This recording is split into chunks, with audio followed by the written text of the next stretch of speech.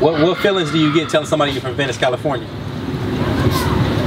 Man, I, that's prideful, man. You know, it, it, ain't nothing like it, man. It's you got you got to say it with your chest, like I'm from Venice, cuz you niggas already know what that means, man.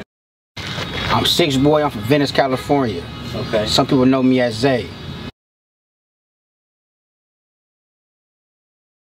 So for for the people in our generation, all the '90s babies, and anybody watching this, what do you think the plan of action should be for us to be able to get our community back to what we grew up with, how we had it growing up, where you know the person across the street is gonna know your mama, your daddy, your auntie, your uncle, yeah. and your grandma, and gonna look out for you. How you think we get it back to that place, or do we get it back to that place?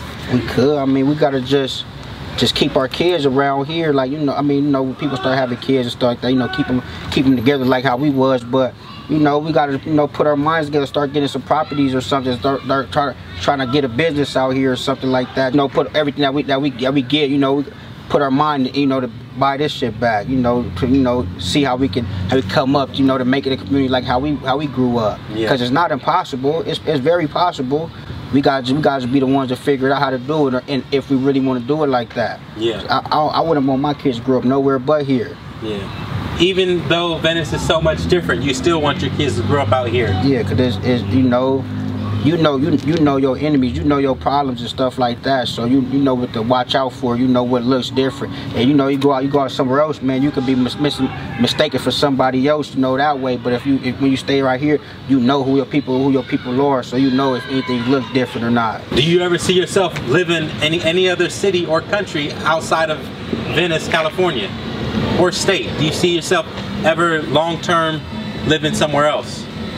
I would, I would, I would have a vacation home somewhere else, but like like home where I, you know I, I, would want it to be at, you know California, Venice Beach type shit. You know that's where I want to. But you know you gotta have a vacation home. You gotta gotta get away sometime. Yeah. It ain't, ain't nothing wrong with getting away, but you know. But I always want to come back here. I always want to be able to come back. Like I like like I like I, I was out the hood for like you know I say like a week and a half. You know just doing business shit like you know music and stuff like that. What I was just what I was just doing. So I was out the way for like a week and a half. Yeah. But when I when I jumped on that 90 today, man, like I just felt good, man. Coming coming to the event, I'm like, damn. I'm I, I see people be talking about when they when they when they out the hood, they come back like they nothing like it. But I was happy as fuck to be come to be pulling up on the block. Yeah, doing rapping and stuff. You were out. How did you first get into rapping? What was the was there anything that that made that pushed you to to be like I want to rap? Uh, my, my my close friend Gerald, like you know he he, he, he like he like a personal security guard for you know a couple of people and stuff like that. Yeah. And so me just hanging around him and you know and you know and, and what he was doing at the time you know, we go in the studios with, with a couple of people, different people and stuff like that. He was just like, you know, put pick the mic up, man. You know, you got a story to tell. So I, I just put my story on, uh, you know, on a, on a paper, man, and you know, and spoken into a mic, and then this that's this where we at right now. Where do you see your future going with rap? What do you see for yourself within the next few years or five years, rapping? Uh, where do I see myself? Uh. I just, you know, I'm just gonna put on for my peoples, man. I, I don't really want to, you know, give myself. I don't want to set no bar for myself, but no limits. Yeah, I want to set no limits for myself, but I do, you know. I see I see myself being able to help my like what I'm doing right now. I see myself being able to help my community out a lot. Like you know, possibly building, possibly buying back the back back the city. You know, with, with this music. That's that's what I do see myself doing. Anything other than that, that that'll just be a plus. But what I want to do, I want to help build this back. In building it back, do you feel like it would be fine to have mansions for you and your family members, or would you want to have modest homes, or how do you foresee no, that? No, I mean I deserve a mansion. I'm a king, so you know I deserve a mansion. Uh, but if I can have if I can have a mansion and and six of my peoples can have a mansion, that that'll, that'll be that'll be better. I don't want to I don't want to be living in a mansion by myself. Yeah. I mean it, it's cool, you know. You got to you know you got to separate yourself from stuff like that. But it ain't nothing wrong with living in no mansion. Trust me, I'm not gonna never say that. But I would want my I would want more people like you know around me living in these big homes too. Yeah. Especially if, if it's out here. If you were to have a vacation home, do you feel like it would be in uh, California? Do you feel like you want to be bi-coastal? Do you feel like you want to be another another country, or what, what, do you what do you think? Because you said you wanted to have you know more than one one place. Yeah. Where, where else do you think you would be? And if I could get a if I, if I get a house anywhere on Sixth Ave, in Venice, man, I wouldn't even. It, it'd be right there, man. Yeah. It, it, it could be, it could be close to the beach, close to the water, but I, I want, I want to come back on six, man. That's where I was born. Yeah. I took my first, first, first breath of air on, on six. Yeah. So I, I, I, I want to, you know, wake up and go to sleep on six side. Your homie Gerald got you into rapping and say you had a, a story to tell. Um, how have you changed since you started getting into this music game? Have you changed at all? Uh, I don't think I changed, like you know, I, but I, I have got wiser though. I have I have smartened up, you know, a lot, you know, stuff like that. You know, it's it's uh, it just it just, it just make it just make me think more, make me make me think about you know certain situations a little different and shit like that. But uh, I wouldn't really say I changed, you know, but I, I did get wiser for sure. Yeah. Has the flow changed since you started rapping? Oh yeah, yeah. I mean, I, I got I got more comfortable with it for sure. So now it just it comes a lot easier than it did before. Where can people uh, listen to your music and where can people find you on uh, streaming platforms or YouTube or wherever else? Uh, you, you can find it on all streaming platforms. You know, Spotify, Apple Music, whatever you listen to it in. You know, YouTube, 6iix Boy. All you gotta do is six six I I X with a space in between B O Y. 6iix Boy. You know, you just look that up. You can find me. You know, type in, in go to your Google. You, they they they let you know at or what I'm doing. yeah. You have a, a song so far that you put out, uh, uh, or a music video that you put out that's your favorite? Or do you like them all the same? I fuck with them all because like you know, I fuck with the directors and stuff like that. Whoever you know, the people I, I, I dealt with during during the video, you know, for the videos. Yeah. So I can't really say I got a favorite one, but you know, the, I, I fuck with out the mud for so heavy. That's that's like my that's my favorite song, man. Just because we really got it out the mud, being from Venice, man. Like people don't believe that. They, they, they think it was all it was like you know just palm trees and sunshines Yeah. every, every day. Nah, man, we we had to struggle just like anybody else. A nigga got it out the mud. Ain't no nigga ever gave me shit. A nigga got it out the mud. Ain't no nigga ever gave me shit. A nigga got it out the mud. Being real. Blue bandana out of state with the blue pills. Bad, bitch, manicure. Bank account full of blue bills. 6iix Boy been with the funks. I play broke. Niggas always want shit. I was young too. I was on some dumb shit. Not now though. Grown up shit. Think about it. Read about it. Don't, don't doubt. Come and see about it. Louis Vuitton. She took my feet about it. Wanna know if he a killer? Bring the heat around her.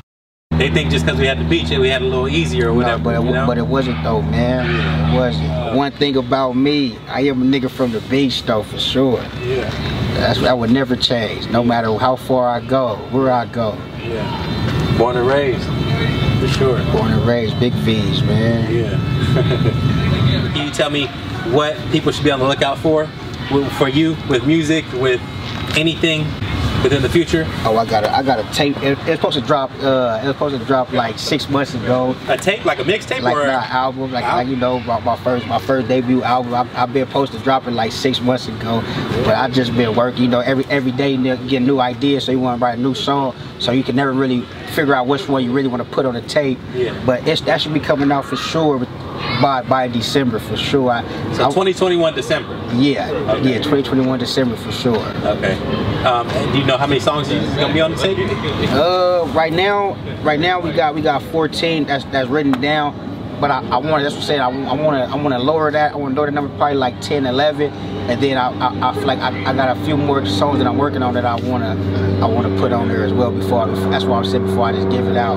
So I want this, it's my first one. I want it to be the best one. It's my debut album. Yeah, I, I, I dropped a mixtape and shit. I got hella singles and shit. Yeah. But I, I haven't dropped no album yet. So what's all that goes into to making an album? How, for somebody that doesn't know too much about the music industry or about you know creating an album, what does it take to to get that album to the vision that you want? Oh man, I um, what does it take? Uh, really just it just it really just it's just about my lifestyle, man. What I seen, what I seen growing up and stuff like that. Yeah. These Venice streets and shit like that, like you know, and, and what I wanna and what I want out of life and shit like that, and what I wanna build. Shit with me, I just live the lifestyle type shit, man. And, you know, I just put it, I just put it on the beat.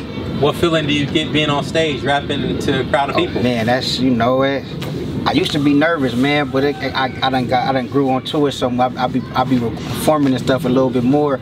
So like the feeling, man, it's just like it's just me there, man. And you know, and it's just, it's just, it's just I just like see, I just like when when, other, when people in the crowd know my lyrics. Yeah. And that, it ain't no feeling like that, cause some people, some people live this lifestyle that I live. So it's like, you know, it, it just feel good when they they actually know what I'm talking about. Do you feel like your music speaks to a certain type of people, or do you think your music speaks to universally everybody? I think everybody, every song probably won't be for everybody. Some people, some of the songs be for my peoples and stuff like that. You know, we big Crips out here and all this shit.